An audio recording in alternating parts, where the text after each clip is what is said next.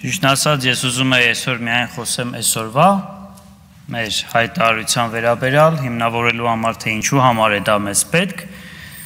սրա մասին միանշանակ խոսեմ, բայց նաև ստիպված եմ արձագանքել մեր գործընկերների տարաբնույթ հայտարարություններին, որոնք իրենց բնույթով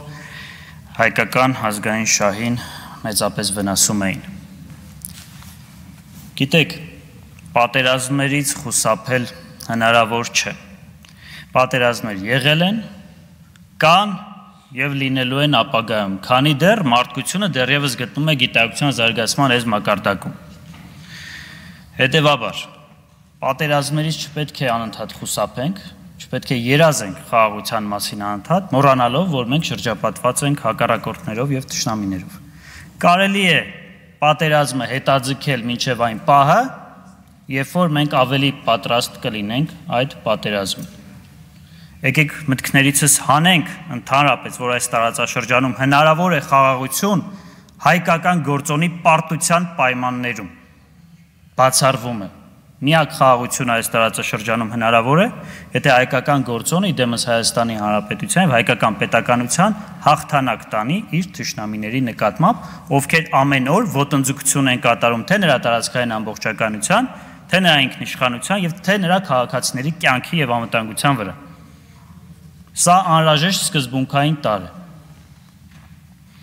Խոսքիս առաջին մասը կնվիրեմ այս հայտարարությանը, որ մենք այսօր պետք է քվեարկենք։ Տեսեք, շատ խոսվեց այն մասին, որ փաստաթուղթը միջազգային պայմանագիր չէ։ Հարգելի գործընկերներ, ազգային շահը պահանջում է, որpիսի ամեն ոլորտում, եթե մենք խոսում ենք, ոլորտի բնագավառի մասնագետի կարծիքը հարցնենք։ Ես վստահ եմ, որ կառավարությունում կան լավ մասնագետներ միջազգային իրավունքի բնագավառում, Առավել քան վստահ եմ, որ այդ մարդիկ ունեն այն նույն ընկալումը, ինչ որ ես, որ այս տեքստով փաստաթուղթը, որը դուք հաստատեցիք, որ քննարկման առարկա է, միջազգային պայմանագիր է։ Անկախ նրա հայտարարություն կոչվելու կամ չգիտեմ, այլ բան կոչվելու հանգամանքից։ Ինչու՞։ Որովհետև թե մեր համանդրության 116-րդ հոդվածը թե միջազգային պայմանագրերի մասին Հայաստանի Հանրապետության օրենքի 10-րդ հոդվածը նշում են, որ քաղաքական, ռազմական հարցերի հետ կապված, մարդու իրավունքների հետ կապված, տարածքային հարցերի հետ կապված փաստաթղթերը երկու եւ ավելի պետությունների միջև կնքվող միջազգային պայմանագիր են, որոնք պետք է անցնեն վավերացման հատուկ գործընթաց, համանadrական դատան եւ ազգային ժողով։ Ինչու է այս փաստաթուղթը միջազգային պայմանագրի այս բնորոշման տակ ընկնում։ Որովհետեւ ձեր իսկ կողմից ստեղծվող այս փաստաթղթի հիման վրա ստեղծվող հանձնաժողովը կոնկրետ գործառութավորվում է եւ կոնկրետ պետությունները իդեմս կողմերի նշում են ժամկետներ, մարմիններ ստեղծելով միջպետական մարմին։ Կարող եք անվանել միջկառավարական, բայց դրանք ըստ էության նույնն են։ Միջպետական մարմին, միջկառավարական մարմին կոնկրետ գործառույթներով սահմանազատման եւ սահմանագծման, երբ որ ստեղծվում է ինչ որ մի փաստաթղթով անկախ դրա վերնագրից, դա միջազգային պայմանագիր է, որը ունի հատուկ վավերացման գործընթաց։ Եվ եթե դուք սա չեք անում, ապա դուք խախտում եք Հայաստանի Հանրապետության թե համանadrությունը, թե օրենսդրությունը դրանից բխող մնացած բոլոր հետևանքներով։ Սրա հետ կապված շատ կարող եմ խոսել։ Ես նաև խոսել եմ ձեր գործընկերների հետ առանձին, հիմա էլ հանրային եմ ստիպված խոսում։ Կարող եմ սրանից հետո էլ էլի խոսել ձեզ հետ, միայն թե էլի չասեք, որ դասախոսություն եմ ձեզ կարդում։ Ինչ վերաբերում է այս ամբիոնից հնչած մի քանի տեսակետերին, ես անպայմանորեն ուզում եմ մեկ անգամ եւս սա փաստենք, որ այն ինչ որ դուք խոսում եք այստեղից, օգտագործվել է եւ օգտագործվելու է Հայաստանի Հանրապետության դեմ 7 ամիս կարծես թե այս նույն բանը անդադ ասում եմ, բայց դուք շարունակաբար ելի առանց համապատասխան մասնագետների հետ խորհրդակցելու կամ չգիտեմ ում հետ խորհրդակցելու կանգնում եք եւ հայտարարություններ եք անում վնասելով Հայաստանի Հանրապետության շահ եւ ազգային շահ։ Այստեղ նշում եք, որ փաստաթղթի վերջին կետը շատ կարևոր է, որովհետև հղում է կատարում, որ միջազգային վեճերը պետք է լուծվեն բացառապես բանակցությունների միջոցով, խաղաղ եղանակով։ Այդ թղթի վրա գրված այդ նախադասությունը մինչև այդ թղթի վրա գրվելը գրված է ՄԱԿ-ի կանոնադրության երկրորդ հոդվածում որպես հիմնարար սկզբունք, միջազգային հարաբերությունների հիմնարար սկզբունք, որից բացառություն կատարել չի կարելի, որի խախտման պարագայում ՄԱԿ-ի անվտանգության խորհուրդը իդեմս իր 5 մշտական անդամների կարող է համապատասխան հետևանքներ առաջացնել։ 5 անդամներին կարծես թե գիտենք, նրանցից մեկը նաև մեր ռազմավարական դաշնակիցն է։ Հետևաբար մի ուրախացեք, որ դուք ինչ-որ մի թղթի վրա գրել եք, որ խաղ եղանակով պետք է այդ ամեն ինչը լուծվի։ Դա գրված էր եւ դա խախտվեց։ Եվ դա խախտվեց նաև մեր պարագայում, երբ որ Սյունիք մտան ադրբեջանցիները։ Ինչ վնասներ են կրելու այս փաստաթղթի կնքման արդյունքում եւ ձեր արված հայտարարությունների արդյունքում։ Կհիշեք երևի, վերջին 30 տարին մենք parberabar կրկնում ենք, որ Արցախը երբեք չի եղել ինքնիշխան Ադրբեջանի կազմում Երբ որ դուք նախատեսում եք գործընթաց սահմանագծման, սահմանազատման եւ այլ եւ այլը, դուք այս մեր հիմնադրույթը դնում եք կասկածի տակ 30 տարվա արված մեր հիմնական ուղություններից մեկն է։ Երևի թե բացի ինքնորոշման իրավունքից, որ անդադ մենք պնդում ենք, մյուս կարևոր հանգամանքը սա է։ Ադրբեջանը անդադ պնդում է, որ Արցախը եղել է իր անբաժանելի մասը։ Մեր փաստարկումը, որը հիմնված է միջազգային իրավունքի պատմության եւ արդարության վրա, հետեւյալն է. Արցախը երբեք չի եղել ինքնիշխան Ադրբեջանի կազմում։ Դուք ձեր այս նախագծով եւ այս հանձնաժողովի աշխատանքով մեր ամբողջ պատմական այս գործի վրա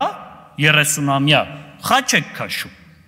Հասկանում եք դրա հետևանքները։ Պատրաստ եք հաջորդ սերնդին գցեք այդ բերի տակ, զրկելով նրան սեփական հայրենիքում ապրելու երազանքից։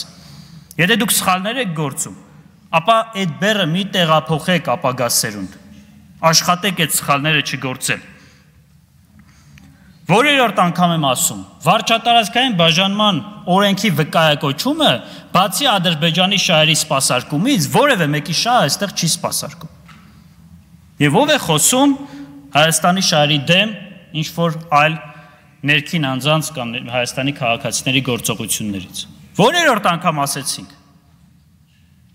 Ներպետական օրենքներով միջազգային սահմաններ չեն գծվում։ Դա լրիվ այլ հարաբերություն է։ Իմանալով սա կրկնում եք ամեն անգամ։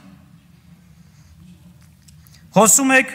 խաղաղության դարաշրջանի մասին։ Խաղաղության դարաշրջան ինչի հաշվին։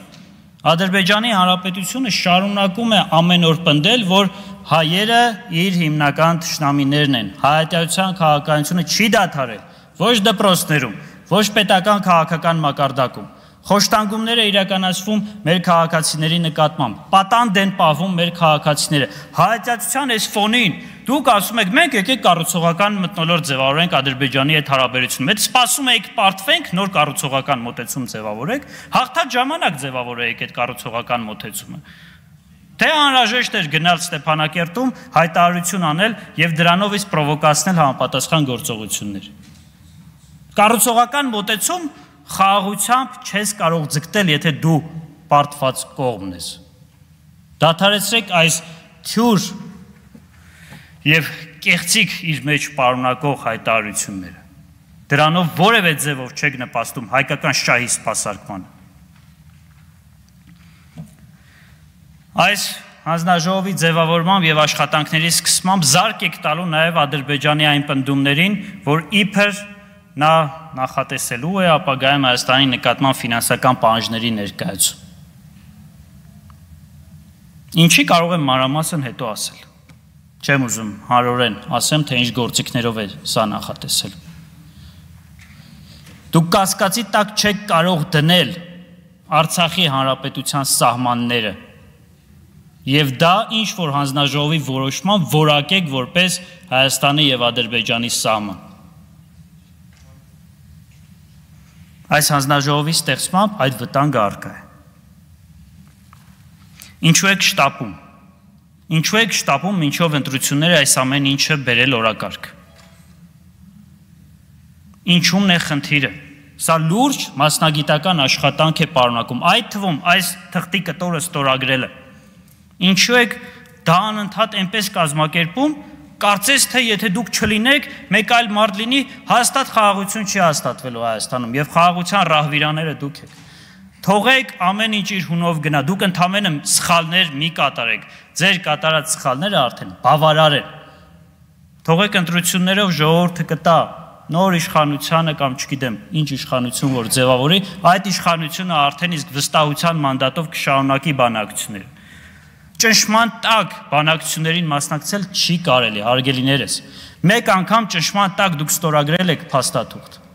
նոյեմբերի 9-ին 10-ին։ Այո, դա ճնշման տակ ստորագրված փաստաթուղթ էր եւ դա ընդունել է նաեւ վարչապետի պաշտոնակատարը։ Ճնշման տակ ստորագրված փաստաթղթերը առ ոչինչ չեն մի արեք ավարտվեց սխալներ, որոնք մեր ծերունները տարիներով չեն կարողանալու իրենց ուսերից գցել։ Եթե չեք կարողանում ճիշտ քաղաքականություն վարել, սպասեք 1-2 ամիս, թողեք գնացեք։ Բայց մի ավելացրեք այն սխալները, որոնք միջև այսօր օր-օրի արել եք։